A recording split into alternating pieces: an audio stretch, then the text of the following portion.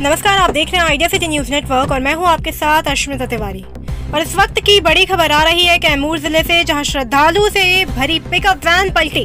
मामला रामगढ़ थाना क्षेत्र के कलानी नहर के समीप तेज गति से सिसौरा की तरफ़ जा रहे पिकअप पलटी मार दी।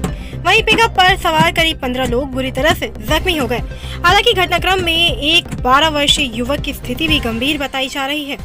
घटना के बाद आनंद फानंद में सभी घायलों को रामगढ़ रेफरल अस्पताल ले जाया गया, जहाँ प्राथमिक उपचार के बाद क्या किया गया? उपचार के दौरान एक 12 वर्षीय युवक को बेहतर इलाज हेतु वाराणसी हायर सेंटर रेफर कर दिया गया।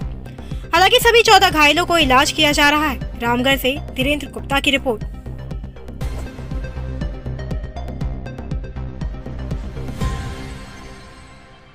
अरे मुंबई गाड़ी से आएँगे वो नाव के पास। बगाड़ी ना मैंने कलानी से जो ना होता नहर ना कहाँ जाते रहेंगे आप लोग? जा रहे थे मुंडेश्वरी। मुंडे से मुंडेश्वरी। कहीं नावा नगर भी जाएगा रहेगा आप? नावानगर भी जाना था सिसौड़ा से आदमी दिल्ली से सिसौड़ा भी ले सकते अच्छा। सिसौड़ा से नावा नगर नावानगर। और नवा नगर से फिर कहाँ? मुंडेश्वरी जाना। मुंडेश्वरी जाना था ना। आप लोग गाड़ी में देवैथा से कितने लोग बैठे थे?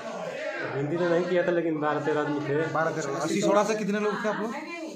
तीन आदमी थे। सिसौड़ा तीन और टोटल जा रहे थे नवा नगर नवानगर उठाकर वहाँ से आपको जाना था। नवा नगर कोनो रिश्तेदारी? रिश्तेदारी है था। अच्छा रिश्तेदारी में जाना था ना? वहीं पिकअप में बैठे। पिकअप की कर रहे हैं? कुछ जानकारी दो पिकअप थी ककरही या खराम मेरा क्लियर नहीं पता लेकिन ककरही खराम बगल में खराना का खराने की थी लग। रहा अच्छा आप लोग रिज़र्व भाड़ा पर है गाड़ी? भाड़ा पर थे क्या ये बताइए कहाँ आपका क्या नाम पड़ेगा आपका? राम लखन कहाँ घर पड़ी? देवाई था। चलिए ठीक है।